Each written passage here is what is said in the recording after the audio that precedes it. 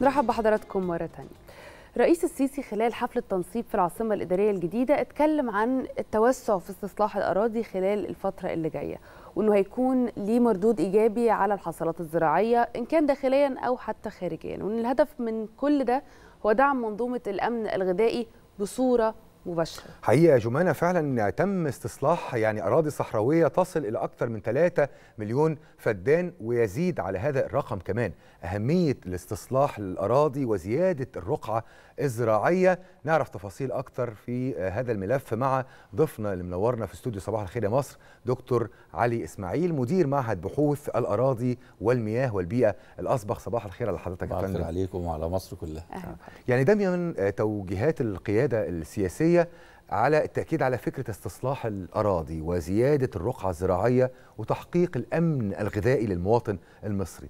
أهمية ودلالة هذه الرسالة يا فندم. دي رسالة مهمة جدا ودي يمكن شعور فخامة الرئيس من طبعا اسمحوا لي في الأول إن إحنا نهني آه، فخامة الرئيس بالولاية الجديدة والشعب المصري على لاستكمال هذه الإنجازات. هو كان عنده هذا الحس وهو عارف أهمية القطاع الزراعي ولم يعطي أحد أهمية للقطاع الزراعي غير سيادة الرئيس خلال الفترات اللي فاتت. جميل. وده كان ليه هو بيحقق يعني هو كان يشوف في إحنا بصينا لكورونا إيه اللي حصل في العالم والنهاردة الحروب الاقتصادية وسلاسل الإمداد ونقص الغذاء الغذاء مشكلة كل هذه في الموضوع. العالم كله. هو بقى كان عنده هذه بعد النظر منذ بداية توليه رئاسة الجمهورية في 2014 بدأنا بمليون فدان بنقدم له كان في يعني معالي الوزير في في هذا الوقت كان الدكتور عادل بلتاجي وقدم مشروع مليون فدان بداية اللي هي نستصلح مليون فدان. فطبعا فخامة الرئيس قال له مش كفاية المليون فدان على الأقل خليهم دلوقتي مليون ونص. هل هذا الكلام ي- ي- ي- يكف يعني كف طموح فخامة الرئيس؟ لا. ده هو كان في بالتوازي بيكمل ل 4 مليون فدان. 4 مليون فدان. تتصور بقى إن هذا الكلام أنت عشان تعمل استصلاح أراضي وهذا المفهوم الكبير اللي موجود الكونسيبت ده ده محتاج إيه؟ ده محتاج طاقة ده نمرة واحد. محتاج أسمدة محتاج أرض زراعية محتاج مية. شوف كل هذه التحديات محتاج خدمات لوجستية محتاج طرق. محتاج بحث علمي كمان. ما هو ما هو إحنا هنطلع الأراضي من خلال البحث العلمي. وإن البحث العلمي إحنا الحمد لله مصر عندها يعني من ال... في القطاع الزراعي مركزين بحثيين كبار اللي هو مركز بحوث زراعيه ومركز بحوث الصحراء بالإضافة إلى الجامعات المصرية. وهو ده بقى كان سؤال حضرتك يا دكتور تحديدا. يعني لو هنتكلم في نقطة البحث العلمي آه ليها عامل مهم جدا وليها دور كبير جدا. لو حضرتك تكلمنا عن هذا الدور وإيه الطفرة اللي حصلت كمان في آه هذه النقطة تحديدا؟ صحيح إن إحنا طول عمرنا عندنا علماء وعلماء مصر بخير طبعا طول الوقت لكن فكرة التعامل اوليه التعامل مع هذه آه آه الأبحاث وفكرة تطبيقها واستخدامها حصل فيها طفرة. تمام. إحنا شوفي زي ما بقول سيادتك كده وكلام سيادتك مهم جدا انت حاطط إيدك على نقطة مهمة جدا. لوما البحث العلمي واللي هي الدعم اللي بيوجه لهذا البحث. فهذه المراكز أول حاجة إحنا بنعمل إيه؟ عشان نعمل هذا أي مشروع. إن إحنا بنعمل أول حاجة اسمها استطلاع. فبتنزل المراكز البحثية والفرق المتخصصة من المراكز البحثية سواء كان مركز بحوث أو مركز بحوث الصحراء عندنا معهد بحوث الأراضي والمياه والبيئة وده المعهد متخصص أساسا في عمليات حصر وتصنيف الأراضي فبينزلوا في الجبال وبينزلوا الأراضي وعندنا صور الاقمار الصناعيه وتستخدم البحث العلمي ونشوف الأراضي اللي تصلح للزراعة. وبعدين بنعمل لها عمليات classification تقسيم نشوف أفضل حاجة وأفضل أولوية وإيه الأولويات الأولى؟ ثم نبتدي مع وزارة الموارد المائية والري. الأولويات من من حيث إيه من؟ حيث نوع- نوعية الأرض آه. وقربها من العمران الخدمات اللي موجودة والمحاصيل. الزراعية اللي وإحنا بيت- ما إحنا بقى بنعمل لها يعني؟ التركيب المحصول. آه. يعني إحنا ما- بعد ما بنخلص هذه الأراضي شوف كمية الماء الأول. ما هو لازم أرجع ل- ل- ل- للجناح الثاني اللي هو جناح وزارة الموارد المائيه والري. هل إحنا عندنا موارد مائية؟ وهذه الموارد المائية هل هي موارد مائية جوفية ولا مياه سطحية؟ جميل. هنقدر نخدم على المشروع. يعني لما نتكلم على مشروعاتنا هنلاقي شرق العوينات بتتكلم في مياه جوفية بس. هنلاقي مشروع توشكا بيتكلم في مياه سطحية ومياه جوفية. هنلاقي مشروع الدلتا الجديدة مياه جوفية ومياه أمطار ومياه سطحية ومياه معالجة. شوفي بقى كل مشروع له الدراسات اللي بتتم حواليه وبالتالي فهنا المراكز البحثية بتبقى لها الدور الأساسي مهم. إن أنت تحددي الأرض ومدى صلاحيتها وأولويات الاستصلاح ثم تحط التركيب المحصولي الملائم والمناسب لهذه إيه المحاصيل اللي بتجود؟ إيه الاحتياجات المال كل المحاصيل دي؟ وبالتالي ثم يأتي ذلك بقى التخطيط التنفيذي اللي أنت بتنزلي تنشئي المشروع. دكتور في النقطة دي حضرتك كأننا آه، أمام كده مجتمع زراعي جديد. يعني فكرة جديدة للمجتمعات الزراعية في مصر والتنسيق المهم جدا ما بين كل ال- الأطراف يعني الموارد المائية ووزاره الزراعة ووضع آه، خطط وسياسات تنموية آه، زراعية بشكل مختلف. دايما هدف من زمان جدا في سياسة كل آه، حكومة مصرية متعاقبة أو حتى وزارة الزراعة هي فكرة زيادة إنتاجية الفدان. يعني وتحديدا في المحاصيل المهمة جدا الاستراتيجية، إحنا بنتكلم على محاصيل زي القمح، محاصيل مهمة جدا للمواطن المصري. هذه الفكرة فكرة زيادة إنتاجية الفد... الفدان الواحد بتعظيم. إدخال أصناف جديدة آه، ترك... تركيب محصولي جديد. تحقق منها إيه يا فندم؟ وإزاي ممكن نعظم هذه الزيادة؟ بص خلينا خلينا نبقى واضحين. يعني نتكلم في الثمانينات كان متوسط إنتاج الفدان من القمح قد إيه؟ 8 أردب. يعني إحنا كان 8 متوسط- ارداب الفدان الواحد. لا، في الفدان الواحد. مم. 8 ارداب يعني 1200 كيلو. النهارده أنت عندك المتوسط ال- العام قد إيه؟ حوالي مثلا تم- 18 19 ارداب قد إيه؟ ضعف وزيادة عن الضعف. ده دور إيه بقى؟ دور البحث العلمي. الاساسا إن أنت بتبتدي تشوف أصناف جيدة إن أنت بتعمل معاملات زراعية. فبالتالي ال package بتاع التغذية والتثبيت والمعاملات ده مهم جدا إن أنت بتدي احتياجات بيئيه مظبوطة إن أنت بتحدث منظومة ري فبالتالي بترفع الإنتاجية لأن الري بالغمر غير الري بالرش والتنقيط وتحديث نظم الري. الحديثة. آه طبعا. الزراعة الذكية كل ده أنت بتستخدمه. فأنت النهارده العلم هو الأساس في عملية التطوير الزراعي. في نفس الوقت الدولة بتتيح هذه الإمكانيات. ما أنت النهارده ما كانش عندك نظم ري حديثة وما كانش عندك في استراتيجي ورؤية واضحة عشان تقدر تدير هذه المنظومة الطاقة الكهربائية. الطاقة الكهربائية في المشروعات الكبيرة دي طب ما لو ما فيش طاقة أنا النهارده عشان أودي سولار الأول خلي بالك يعني لما تبص مشروع شرق العوينات على بعد 1200 كيلو ووصلت له الكهرباء مشروع توشكا بالكامل كهرباء. فطبعا إن ما كانش ده ده كان بيكلفك إيه؟ شوف الضغط بقى على المواد البترولية ونقلها وممكن تتعطل العربية وبالتالي يبقى في مشاكل فممكن ما تبقاش ما تقدرش تطلع المية وما تقدرش تروي فالنهاردة أنت بتستخدم منظومة متكاملة. من ال- ال- ال- الدراسات زائد مجموعة من تعاون الوزارات المعنية والوزارات ال- ال- المستهدفة كلها بتستخدم وبتغطي منظومة ال- البحث اللي هي بتدعم عملية الإنتاج الزراعي. وإن ما كانش عندك وسائل نقل وميكنة. وكل هذه الأمور دولة النهارده عشان تعمل كل الكلام ده.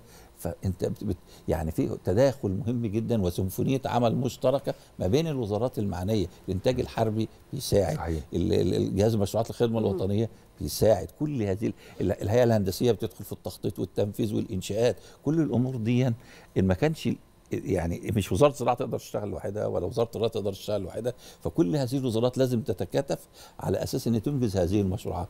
أنت الهدف اللي إحنا بنتكلم فيه المهم جدا هو إيه؟ رفع إنتاجية الفدان. وحدة المساحة. مم. فهتيجي منين؟ يبقى أنا بدخل أصناف جديدة. مم. بستخدم معاملات زراعية بتاع. بستخدم الميكنه الزراعية. كل الكلام ده كان فيه هدر. يعني انت لو بتستخدم الحصاد اليدوي غير ما انت بتستخدم الحصاد الآلي وبتلم المحصول. طبعا. النهارده لما بتعمل صو- صوامع تخزين في مناطق المشروعات نفسها فانت بتعين. النهارده بتعمل عملية باكج وتعبئة وتغليف أو تصنيع في الموقع بترفع من قيمة الإنتاجية. صحيح. فالنهارده كل الأمور دي يبقى هو كلها عوامل مهمة جدا. إحنا بنقول المشروعات. ليه المشروعات؟ زي ما أنت قلت كده. أنا عندي أمن قومي غذائي صحيح. الامن مهم الغذائي. جدا. وده بقول لك سياده الرئيس الكلام ده من بدري. فالنهارده انت لما النهارده بتبص ان انت بقى عندك في هدف 4 مليون فدان فعليين. زائد ان انت كان عندك مشروعين استصلاح واقفين أو ثلاثة. خلي بالك يعني أنا أنا أنا شاهد عين هذا الكلام يعني لحد 2014 كل اللي استصلح في توشكا 140 ألف فدان. وكل اللي استصلح في شرق العوينات 140 ألف فدان. النهارده إحنا عندنا أكتر من من 700 أو 800 ألف فدان في المشروعين استصلحوا دول. شرق العوينات بقى تنفيذه بنسبة 110% يعني في 230 ألف فدان مزروعين في شرق العوينات وتوشكا بقى فيها أكتر من 600 ألف فدان مزروعين. فأنت بتتكلم في هذا الكلام نقلنا لمشروع جديد اللي هو المشروع الكبير بقى. فانا شغلنا المشروعين دول كانوا متعطلين. يعني توشكا والعوينات دول كانوا متعطلين. فالنهاردة هم اشتغلوا بطاقتهم. ففي أربع سنين طلعت من 140 ألف فدان ل 600 ألف فدان وهناك من 140 ألف فدان ل 230 ألف فدان. دولت بس حاجة واضحة. عندنا مشروع تنمية سينا في الجزء الش... في الجزء شرق قناة السويس. و- وموضوع غرب قناة السويس. في شرق قناة السويس عندك 465 ألف فدان انت استصلحت منهم النهارده أكتر من 280 ألف فدان في شرق القناة. طبعا. انت عشان تعمل ده إيه؟ لو تبص هنا هتلاقي محطة تحلية بحر البقر. انت بتطلع خمسة خمسة وستة من عشرة مليون متر مكعب يوم يعني أكتر من 2 مليار متر مكعب بتعيد استخدامه. كانوا بيترموا في بحيرة المنزلة أو مية ملوثة. بتروح فين؟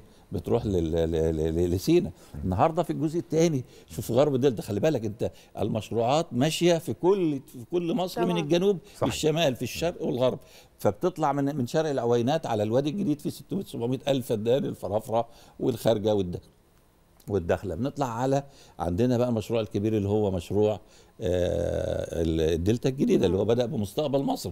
النهارده أنت بتستهدف فيه 2.2 من 10 مليون فدان. فال 2.2 من 10 مليون فدان دولت استصلح منهم أكتر. يعني إحنا في مليون فدان جاهزين منهم 600 ألف بينتجوا اللي هو مشروع مستقبل مصر. لكن لما تستكمل محطة العالمين خلاص خلال فترات قليلة ودي هتديني سبعة ونص مليون متر مكعب مية زائد المياه الجوفية اللي كانت موجودة زائد إن أنا بستفيد من مياه المطر وحصادها في المناطق الشمالية. كل الكلام ده. فأنت جميل. النهارده عندك جاهزين لمليون صحيح. فدان فعل. فأنت عايزين نقول بقى أنا بعمل إيه؟ أنا عندي نمو سكاني فوق 2% عدد سكان مصر من خلي بالك من من من الثورة كنت كام؟ في 2011 و2014 انت بتتكلم على 84 مليون مواطن ولا خ... ولا ولا 82 85 مليون. النهارده إحنا عندنا 105 مليون. فالنمو عالي جدا. يعني انت زدت في في في, في 10 12 سنة فوق الخمسة و... فوق ال 20 مليون. وعندك زي ما إحنا بنقول كهو أكتر من 9 مليون ضيف في مصر. دول كلهم عايزين إيه؟ أكل غذاء. طبعا. وغير كده أنا عندي سياحه أنا بيجي لي المفروض إن أنا بستهدف 30 مليون سايح. يعني أنا محطوط في خطط الاستراتيجية بتاع الدولة المصرية إن أنت عندك طبعا لازم يكون عندك أيضا الموارد الغذائية اللي تقدر موفر ليهم طبعا. كل احتياجاتهم لازم الغذائيه توفرها ليهم فهذا أكيد. الكلام لن يأتي إلا من خلال استصلاح الأراضي الجديدة جميل. بإضافة رقعة زراعية تضيف م... تقفل الفجوة في المحاصيل الحقلية زي القمح زي الذرة زي الزيوت زي الاعلاف وعندنا في نفس الوقت الأراضي القديمة نحافظ عليها ونرفع قيمتها ونوقف التعدي عليها. إحنا خسرنا خلال من الثورة لحد النهارده مليون فدان. يعني إحنا خسرنا من ثورة 52 لحد 2000 مثلا و14 و15 إحنا دلوقتي الأمور فيه قيود. فإحنا خسرنا أكتر من مليون فدان. إحنا فترات الثورة بتاعت 2011 و12 كنا بنفقد من 40 ل 50 ألف فدان في السنة. تعديات على هذه طبعاً. الأراضي. طبعا أنت عارف إن كل فدان أنت بتخسره. من هذه الأراضي الخصبه بي بيحرم إيه؟ بيحرم مش أقل من 50 مواطن من أكلهم. طيب دكتور الحقيقة يعني هنتكلم كمان على قطاع الزراعة آه، تحديدا وكل العوامل اللي حضرتك تحدثت عنها. آه، في عامل مهم جدا برضو لازم نشير ليه آه، وهو المزارع المصري. وإحنا بنتكلم على ظروف ال- ال- المزارع المصري أكيد حصل فيها كمان تحسن بشكل كبير جدا لكن وإحنا بنتكلم بشكل بقى يعني محدد على فكرة آلية التنفيذ فحتى وجود آه، آه، آه، آليات الزراعة الحديثة والذكية والخدمات الرقمية المقدمة أكتر من 20 خدمة دي في حد ذاتها أيضا بتسهل عليه وبتؤهله بشكل أكبر إنه يقدر يواكب كمان التكنولوجيا اللي موجوده في العالم كله في قطاع الزراعة. تمام؟ إيه اللي حصل في النقطة دي تحديدا؟ لما تبص للمزارع المصري يمكن عايز أقول حاجة. دي شهادة حق. نبص ماذا قدم إلى هذا المزارع في من 2014 لحد دلوقتي. إحنا عندنا نمرة واحد. اتقدم أول حاجة بس عشان نقول الخدمات اتقدمت له. مشروع خاص بالتأمين الصحي على المزارع. مشروع خاص بمعاش للمزارع عندما يعني يوصل 60 سنة أو 65 سنة ياخد معاش من الدولة. مم. عندنا مشروع للزراعة التعاقدية. يعني إن شاء الله يخلصوا ويناقشوا في الدورة الحالية اللي هو مشروع القانون الزراعي الموحد. فطبعا ده مهم جدا. طب النهارده إحنا بنقول إحنا عندنا مشروعات تحديث الري. وده قدمت إلى المزارع المصري بدون فوائد بدون فوائد وعلى 10 سنين بمبادرة البنك المركزي بتنفذها وزارة الزراعة ووزارة الموارد المائيه والري ال- النهارده أنت عندك البنك البنك الزراعي المصري الزراعي. والقروض اللي بتقدم ليه مشروعات البتلو اللي تم ضخ فيها أكتر من 7 مليار جنيه على أساس تدي قروض ميسرة للمزارع على بفائده بسيطة. أنت يعني مش عايز عايز المبيدات, أقول لك المبيدات واستخدام المبيدات وغيرها. لا المبيدات رجعت لورا. آه. ما عادش عندنا إحنا النهارده بنستخدم الفورمونات صحيح. بنستخدم الم- المكافحة الحيوية بنستخدم حاجات كتير جدا. والفلاح والمزارع على وعي بيها جدا على وعي فده طبعا. راجع لإيه؟ راجع إلى السياسة وزي ما قلنا كده والأستاذة جمانة قالت إحنا عندنا النهارده الزراعة الذكية. النهارده ال application mobile فبيقدر يقدم عليه الخدمات. النهارده عملنا حاجة اسمها كارت الفلاح. كارت الفلاح ده كارت رقمي فيه كل ال data وكل البيانات وبالتالي عمليات صرف الأسمدة صرف الخدمات الدعم كل هذا الأمور يقدر يوصل للمزارع بشكل ميسر وبشكل بسيط. فالمزارع بقى يعني في, في هو أصلا أنا بعتبره إن هو عصب ال- الإنتاج الإنتاج الزراعي. والإنتاج الزراعي ما كانش المزارع يبقى حس إن هو آه يعني عنده آه في دعم والدولة طبعاً. مخليه بالها منه.